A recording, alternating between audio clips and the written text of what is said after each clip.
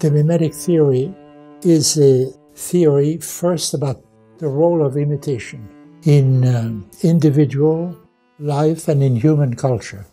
People imitate much more than we realize. If people didn't imitate, there wouldn't be languages.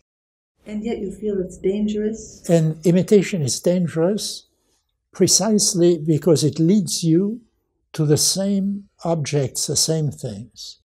Conflict is the most normal thing for human beings. Today it's fashionable to be against rules, against laws, and people say that prohibitions, cultural prohibitions, are just due to the desire of, uh, for instance, they will say, the old people to prevent the good, uh, the young people to have fun because they cannot. This isn't true. This is absolute nonsense. You see what I mean? It's always to prevent the type of rivalry I'm talking about. A scapegoat phenomenon, and when a whole is when a whole community turns against one of its members only, and everybody becomes united against that member. And I think it's a result of the mimesis of desire. There comes a point when the mimesis of desire creates too much trouble when there is a tendency for everybody to converge mimetically against the same enemy.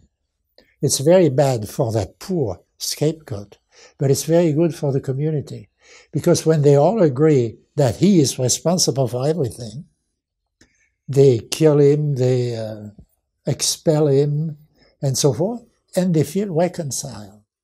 You've said that this whole process happens invisibly it happens invisibly in the sense that people don't understand its social function,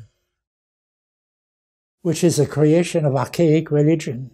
This whole dynamic is both exactly the same in Christianity. Jesus is an innocent who is scapegoated.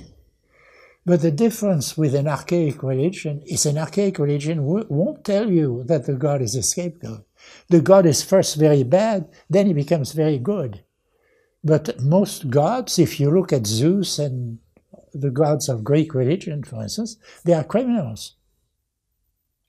But they are no longer criminals, they are gods. But they are both gods and criminals. Why are they all criminals? Because originally they were scapegoats.